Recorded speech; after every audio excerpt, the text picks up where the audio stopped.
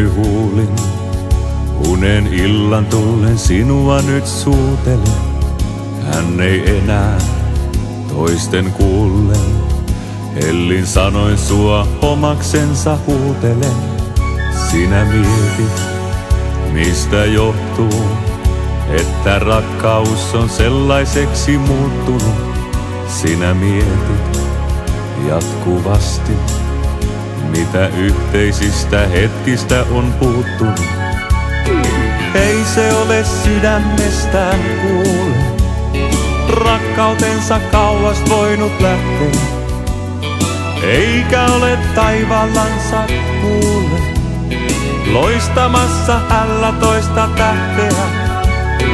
Sellaista se on se nykyaika, ihmiseltä valtavasti vaativa rakkautta rasittava aika. Elämä vie liian paljon voimia.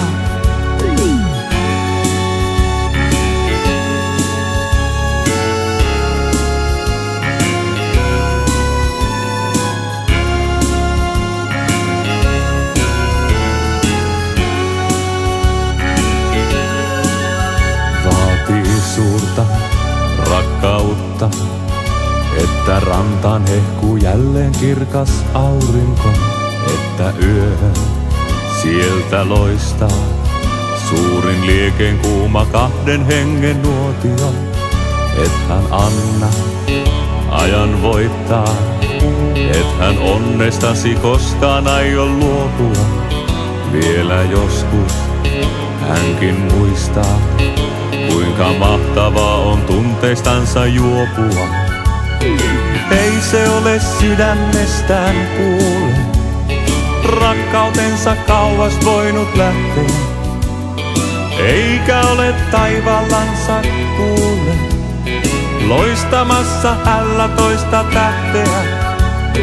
Sellaista se on se nykyaika, ihmiseltä valtavasti vaativa, rakkautta rasittava aika. Elämä vie liian paljon voimia. Ei se ole sydämestään kuule. Rakkautensa kauas voinut lähteä. Eikä ole taivallansa kuule. Loistamassa hällä toista tähteä. Sellaista se on se nykyaika.